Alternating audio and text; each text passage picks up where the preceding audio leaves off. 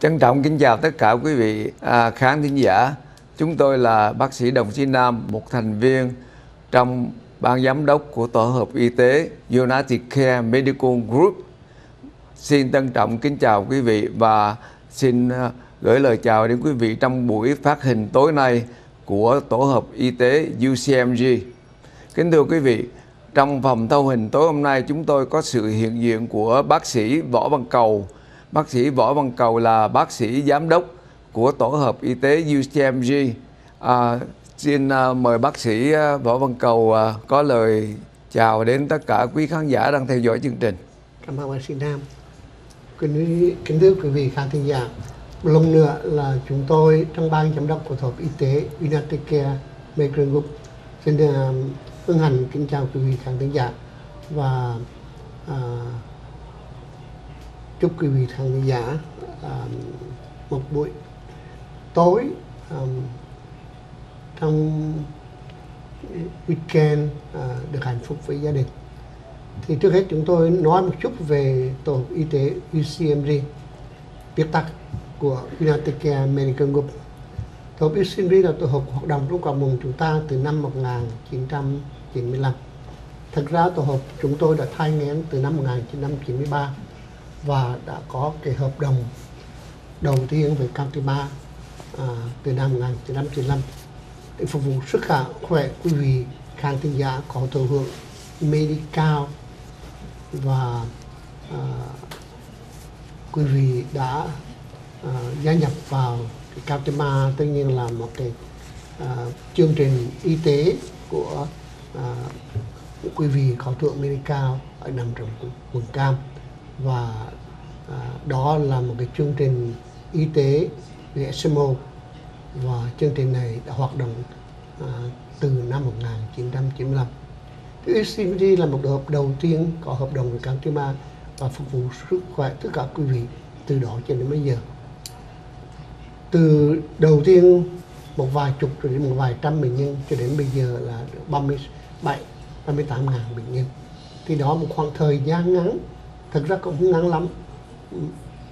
Mà so với sự phát triển của hợp chúng tôi thì rất là nhiều trong những năm vừa qua.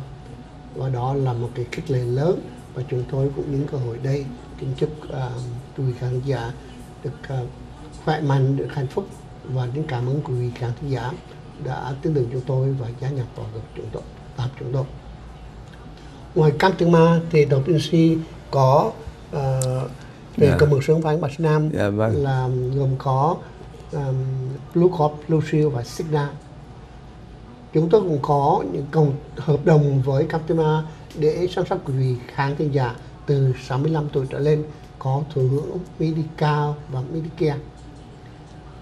Mặc dù trong một số uh, Captima có Medicare cũng có một số bệnh người có số người trẻ tuổi hơn. Tuy nhiên vì bệnh hoạn cho nên được có Medicare cho nên có thưởng Medicare và Medical cũng nằm trong cái khoảng à, tuổi đó mà chúng tôi đã phục vụ sức khỏe quý vị từ đó cho đến bây giờ. Dạ, là chúng có. tôi cũng ngoài ra cái cái cái Medicare và hiện tại thì gọi là uh, One Care Connect và One Care là những quý vị 65 tuổi trở, trở lên có thưởng Medicare và Medical. Ngoài ra cũng chúng tôi có những uh, hợp đồng với những cái tổ hợp như là Santander Plan và Brand New Day cho quý vị có Medicare và quý vị đó đã uh, làm việc hoặc là tư hoặc là làm việc cho những cơ sở và sau về hưu thì có thưởng Medicare Part A và Part B. Và nếu quý vị đó um, có mua uh, supplement hoặc là có Medicare nếu quý vị có Medical thì là vào trong cái tổ cái cái chương trình Medicare. Nhưng quý vị uh, chỉ có Medicare Part A Part B không thì nằm trong những cái uh, Central Health Plan hoặc là hoặc là Brand New Day thì quý vị đó đã gia nhập vào trong những cái chương trình y tế à, gọi là tư và à, có thưởng Medicare và y và B và quý vị đó cũng đã, đã gia nhập vào hợp chúng tôi và chúng tôi đã sẵn sóc quý vị à, sức khỏe quý vị đó. Thì um, trước hết chúng tôi cảm ơn tất cả quý vị khán thính giả đã gia nhập vào tập chúng tôi và chúng tôi uh, cũng mong muốn rằng trong những cái ngày tháng sắp đến thì quý vị à, có medical à, à, mặc dù là à, quý vị có expansion medical expansion hoặc là medical thường và mới à, có thưởng medical thì gia nhập với chúng tôi bằng cách liên lạc với bác sĩ gia đình. Quý vị có medicare và medical thì mong quý vị gia nhập tôi vào chúng tôi chương trình One Care Connect. Và và One Care và quý vị có thụ hưởng commercial Blue Cross Blue Shield signa thì xin quý vị cũng liên lạc lạc với bác sĩ gia đình quý, quý vị và để gia nhập vào chúng tôi và chúng tôi uh, xin phục vụ sức khỏe với tất cả những cái khả năng chuyên môn của tất cả bác sĩ gia đình cũng như bác sĩ chuyên khoa uh, đem sẽ sức mình mà phục vụ sức khỏe quý vị. Yeah. Uh, thưa bác sĩ à, uh, cầu thì cái châm ngôn của tổ hợp y tế UCMG từ cái lúc mà mình mới thành lập là cách đây 21 năm. Ừ. Thế bây giờ cái châm ngôn là mình á thứ nhất á, là phòng phòng bệnh hơn chữa bệnh. Vâng. Cái thứ nhì á, là nếu như á, mà có bệnh rồi thì mình chữa phải không bác sĩ? Và à, sau đó dễ dàng mình dễ dàng cho dạ, quý vị vâng. được dạ. đến bác sĩ chuyên khoa để dạ nhanh chóng được, uh, được phục vụ một cách nhanh chóng và bảo đảm hơn. Dạ vâng.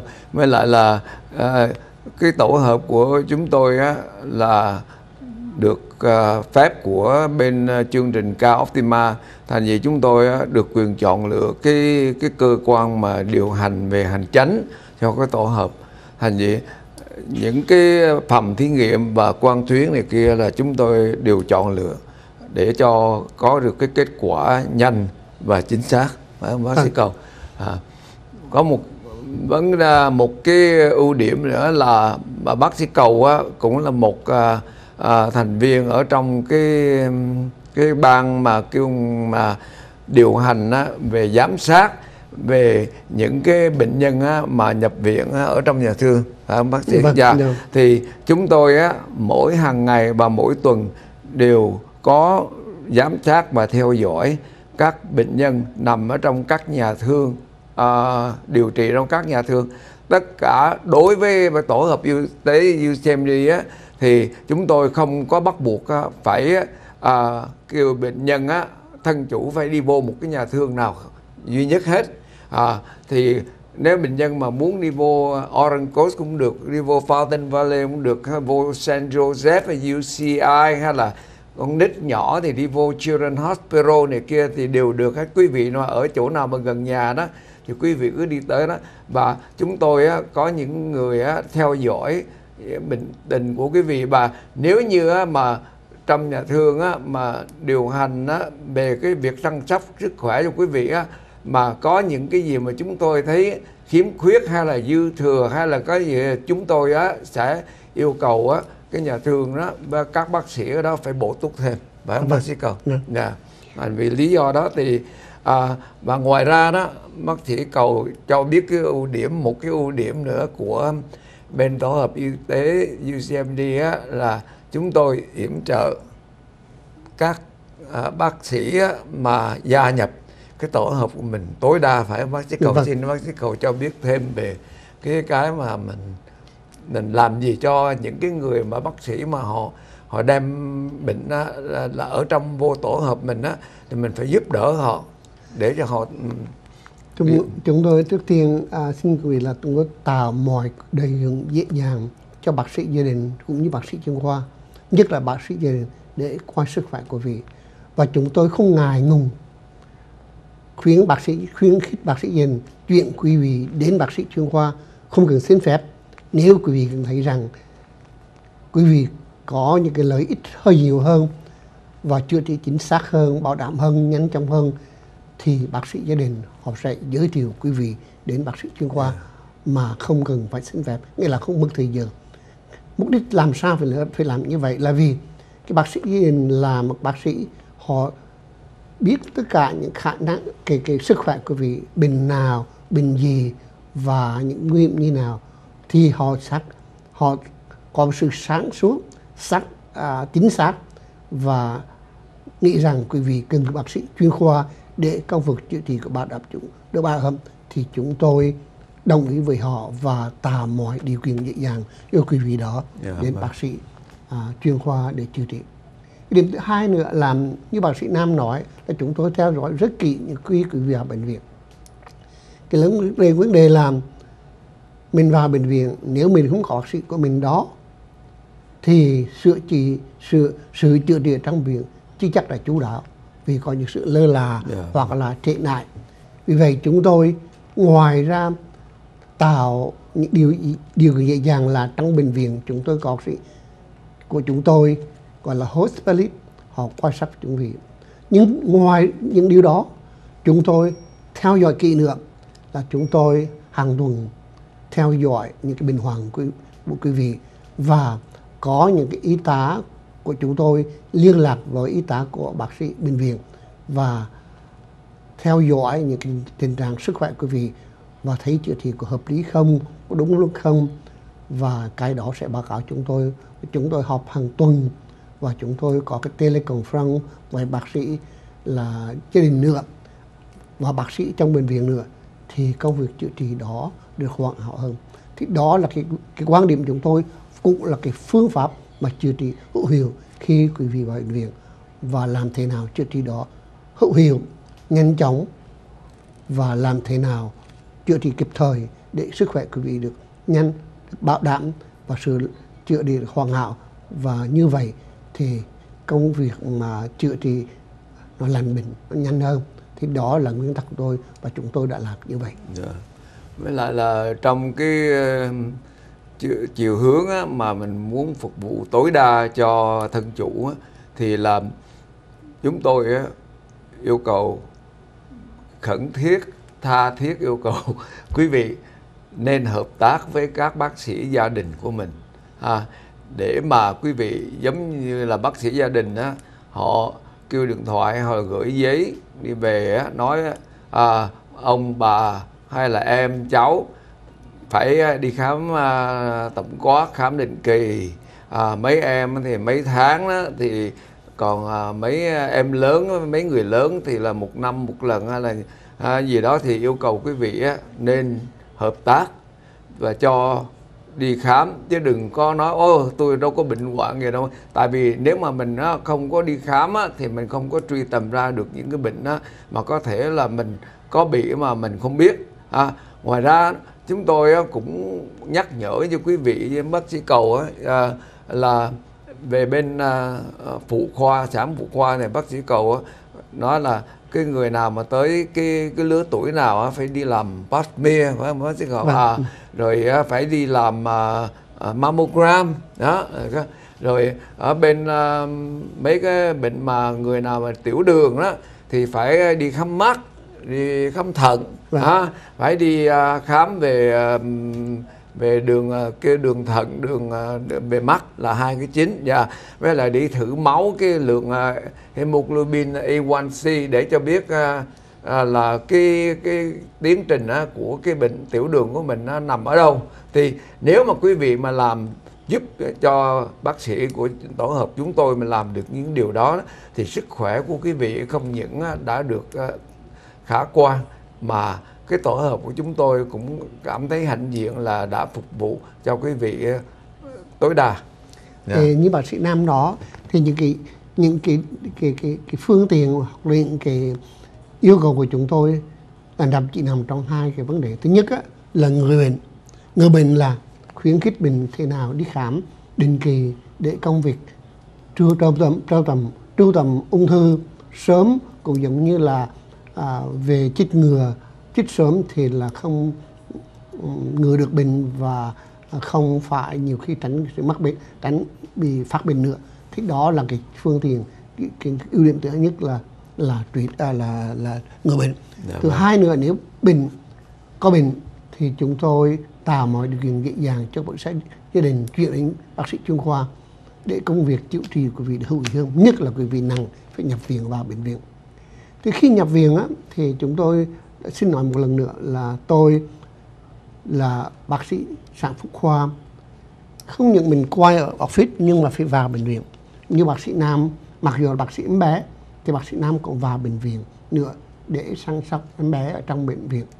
Thì cái tổ hợp chúng tôi là có nhiều bác sĩ có chuyên môn và có cái privilege tức nghĩa là có một cái cái um, Kinh cái bằng hành nghề. Dạ. Và kinh nghiệm ở trong bệnh viện vâng. cho nên sự theo dõi trong bệnh viện được chú đáo hơn được hữu hiệu hữu hiệu vì ngoài ra cái bác sĩ gia đình và bác sĩ là chữa trị trong bệnh viện thì chúng tôi để con mắt vào trong bệnh viện ngoài ra vào thăm quý vị trong viện nhập viện quý vị trong viện chúng tôi cũng liên lạc và hợp tác với bác sĩ là là chuyên khoa ở trong bệnh viện Dạ và họp với quý vị hầu như là bác sĩ chuyên khoa bệnh viện hàng tuần và để um, theo dõi quý vị và có những trường hợp mà chúng tôi yêu cầu bác sĩ um, chuyên khoa trong bệnh viện liên lạc với chúng tôi để công việc chữa trị quý vị được hữu hiệu hơn.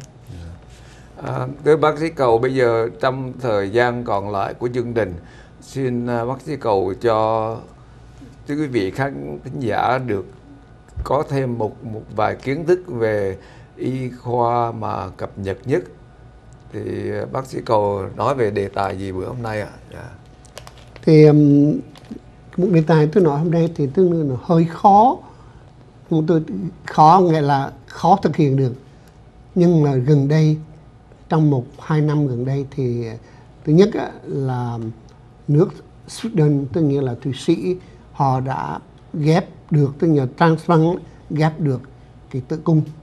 Nghĩa là cái tử cung mà để ghép được mà để sinh con á, là khó lắm. Và um, Sweden họ ghép thử cái cái tử cung vì nhiều người tử cung không có thể ví dụ như mình lớn tuổi cái lý thực bẩm sinh tử cung không có hoặc là nhỏ quá.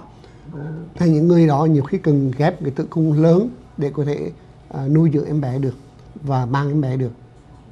Hoặc là những quý vị vì lý do nào đó phải mổ cắt tử cung sớm cho nên phải ghép tử cung để mình muốn trong quý vị của con thể để của con được.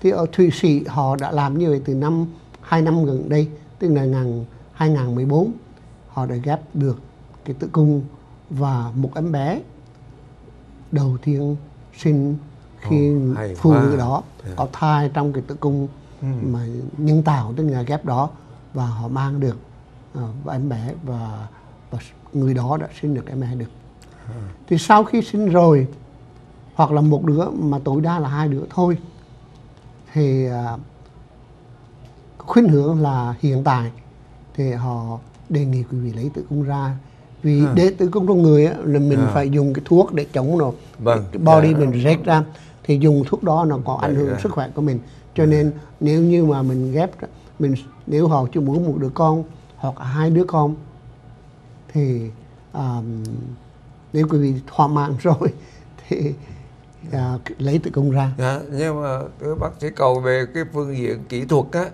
thì khi mà mình ghép cái tử cung á thì hai cái buồng trứng á, Ừ. à, mình phải ghép vô trong cái tử cung phải không? Vâng. Với lại là cái cổ tử cung thì sao? Hả? À, tử cung kia là th- thay cả tử cung luôn ghép là cổ tử cung luôn À, à, Ừ. nhưng mà à. có vấn đề khi mà ghép tử cung rồi đó cái vấn đề là làm thế nào có thai Hả? thì đa phần thì họ dùng cái phương pháp là IVF là thụ của thụ À, là cho thẳng vô thụ thụ thân thụ thụ thai trong ống thủy tinh khi thụ thai ống thủy tinh là dùng tinh trùng của ống xã lấy trứng của mình và tinh trùng ống xã để mình nuôi ở trong à, cái, cái, cái ống thủy tinh. Khi mà cái thai phát triển để tám thành cái bé thành cái tám tế bào rồi á thì mình mình đem đặt vào trong lòng tử cung người mẹ Ồ, và dạ. người mẹ mang em bé đó. Hay quá. Ừ. thì đó là độc nhất một đứa em bé. Em bé sinh 2014 tại nước Thụy Sĩ. Nước Mỹ đây trong tháng 6 vừa rồi actually, trong tháng 2 vừa rồi ngày 26 tháng 2 vừa rồi thì uh, Cleveland um, Cleveland Clinic á, ở Ohio đó có ghép một trường hợp. Thì như vị quý vị được ghép tử cung là rất là khó. Ngoài những ghép cơ khoang khác như tim như gan như đồ thì tương đối dễ hơn. Thì ghép tử cung rất khó và Cleveland họ ghép được nhưng mà sau đó biến chứng thì tử cung mà lấy ra là không có giữ được. Thì nói khó khăn như vậy. Thì vâng. dù là đã thất bại nhưng mà ừ, tất cả các bệnh viện mà lớn ở đây um, và các bệnh viện nói chung là bệnh viện của đại học cấp thì họ có cái plan là nếu có thể được họ sẽ bắt đầu nghiên cứu cái chương trình là ghép tử cung cho quý vị. Nếu tự, quý vị đã tử cung bị hư hoặc là bị cắt bỏ đi à, và muốn của con trên tử cung của mình và mình mang em bé thì cái đó à, trên công tác vì con một đứa em bé sinh ra tại thư thiện thư sĩ thì mình có thể làm được thì đó là một cái khoa học tiến bộ hiện đại rất là mới và cái nữa là hy vọng rằng có thể làm được. Yeah. Vâng, à, cảm ơn à, bác sĩ cầu đã cho chúng ta có một cái tin à, hấp dẫn. Bây giờ mà không có tử cung mà ghép tử cung vô mà có có thai mà đẻ ra con được là cái chuyện là rất là vui mừng nhé phải không Dạ, bác sĩ cầu? vâng. Dạ. À, trong à, chúng tôi cũng có một cái đề tài cũng xin à, để trình bày cùng quý vị là như quý vị đã biết á, là ở cái, tại nước Mỹ này nhất là ở tại à, Cali California mình á cái vấn đề động đất á, là một cái vấn đề thường xuyên. Tôi mới uh, nghiên cứu ở trên uh, mấy cái website uh, của bên uh, chỗ uh, cái trung tâm khí tượng của Mỹ á thì thấy hàng ngày á bác sĩ cầu biết không? Hàng này ngày nào á, Cali mình nó cũng có động đất hết. Nhưng mà động đất nó kêu baby shake á, là kiểu độ chừng một chấm thì zero chấm mấy nhiều lúc mình không có biết nhưng mà điều cái cái đài khí tượng nó họ ghi lại hết. Là giống như ví dụ à, một ngày có nhiều lúc nó có tới 10 cái, cái lần động đất. Nhưng mà cái động đất mà nhỏ nhỏ thì cũng chẳng làm cho phiền gì ai. Nhưng mà đây quý vị đây nhớ đó là cái xứ Cali của mình đó, là nằm trong cái cái đường rãnh á, mà nó chạy dài từ à, miền Bắc Cali mà xuống miền Nam Cali là tới 800 mai thì cái cái đó nó kêu là San Andrea, là cái cái đường nứt á là nó nó nước á, nó có thể nó, nó gây ra động đất á, à, bất cứ lúc nào. Và à, không phải là để hù quý vị nhưng mà quý vị á, chúng ta nếu mà đã ở Cali á, nhất là ở những cái vùng mà thuộc về Los Angeles á, và Orange County, San Diego chúng ta phải chuẩn bị để đón một cái cái trận động đất á, có thể là lớn một cái trận động đất là lớn hơn là cái trận động đất mà cái kỳ ở Norwich á, năm 1980 mấy đó là là nếu mà cái trận động đất này á, mà nó khoảng chừng á, 7.8 thì kia trở lên á, thì cái thiệt hại nó nó vô nghĩa là vô cùng là kêu là dữ dội lắm. Dạ, tai hại lắm. Thì những cái gì á mình cần biết về cái động đất á, chắc quý vị cũng cả đã có nghe qua nhưng mà điều để xin trình bày lại một lần nữa để cho quý vị á, như nhắc nhở lại.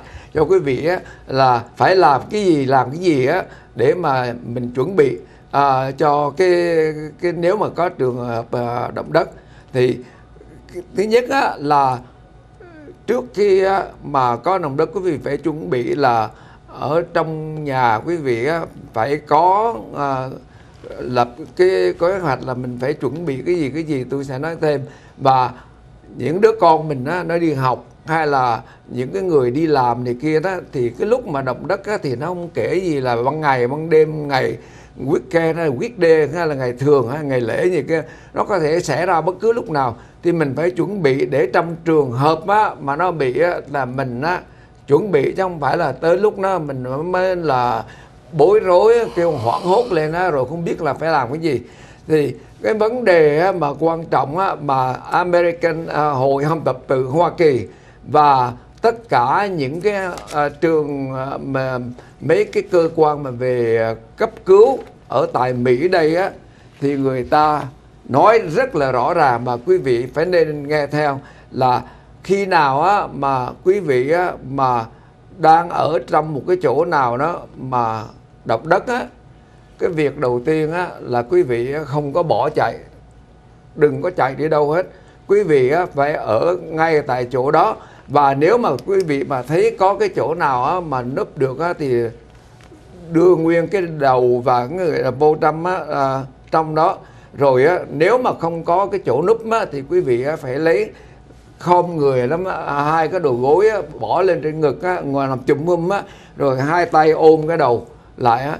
Tại vì nếu như á, mà cái lúc á, mà nó đang à, động đất á thì những cái đồ đạc này kia nó có thể rớt trên đầu đó là này kia nó nó làm nguy hiểm. Và cái quan trọng là quý vị chớ có chạy ra ngoài trong lúc động đất. Khi nào mà đất nó hết rung rồi quý vị mới chạy ra ngoài à, à, nếu mà quý vị chạy ra ngoài cái lúc đó có thể là đồ đạc này kia hay là điện điện đèn này kia nó rớt ra đầu mình đó. À, cái cái thứ hai là quý vị phải chuẩn bị là có nước uống nè có thức ăn khô nè. À, những cái cái mà về mền nè những cái cái mà về đèn nhất là cái đèn một cái radio à, mà không có cần à, sử dụng pin. Và ngoài ra đó quý vị á, phải à, con em mình đi học chỗ nào á hay là ở nhà giữ trẻ nào quý vị phải biết ngay cái chỗ đó đó. Nó đã có chuẩn bị cho trường hợp mà động đất á, thì con em mình làm sao? Và một cái điều quan trọng nữa là quý vị phải biết cách để mà liên lạc trong cái lúc á, mà bị động đất tại vì động đất thường thường á, ba ngày sau có thể là mới cái cơ quan cấp cứu nó mới đi lại được. À, thì trong lúc đó thì quý vị phải biết á, là con mình á, có được ở tại chỗ đó không á, thành gì cái nào nào bây giờ thì có cell phone này có email này có text message nè. À, nếu mà quý vị mà không có mấy cái phương tiện đó thì ít ra quý vị cũng phải có một tấm giấy và có mấy cái viết mà marker đó để cho mình biết á, là mình đưa lên á, mình cho họ biết á, là mình đang ở đâu này kia. Thì cái thì giờ đó nó hơi eo hẹp thành gì á tôi muốn nói nhiều nữa nhưng mà đều không có thì giờ nhưng mà đều xin nhớ quý vị á. Quý vị nhớ cho là cái nào mà động đất á thì quý vị ở đâu thì ở yên đó. Và đừng có nghe theo cái cái mà cái cái cái lối mới. Bây giờ nó kêu triangle of life là tam giác về đời sống á nghĩa là quý vị á, thay vì đục vô trong một cái chỗ nào hay là khum người xuống bây giờ quý vị ngồi kế bên cái à, cái cái mà cái một cái à, cái tủ hay là một cái gì đó thì cái đó rất nguy hiểm quý vị. Nó nếu mà cái tủ mà nó sập nó đè trên người quý vị trước. Đó mà yeah. thì à, tôi sẽ trở lại trong cái vấn đề đề tài này trong chương trình tới. Thì uh, trong lúc uh, mà để xin mời quý bác sĩ cầu có lời yeah. uh, kính thưa quý vị khán giả thì vì chương trình hẹp thì chúng tôi xin à, tạm chấm dứt chương trình hôm nay thêm một nữa đại diện tổ y tế United Care Mê chúng tôi xin kính chúc quý vị à, một buổi tối thật hạnh phúc với gia đình và thứ hai nữa như bác sĩ Nam nói đó tất cả những cái phương tiện để động à, Ờ, mà mình à, ngăn ngừa động đất thì trước tiên để động đất mình phải đứng tại chỗ và chùm hung xuống ôm đầu lại đại khái mình tránh được cái gì rớt trên đầu mình thì nguy hiểm. Thì đó là trước tiên mình phải làm khi động đất. Dạ, yeah, xin chúc các quý vị à, thân chủ mà trẻ đó đã có một mùa hè an toàn và vui vẻ. À, nhớ uống nước và sức dầu chống nắng khi đi ra ngoài. Thank you. À, xin cảm ơn quý vị.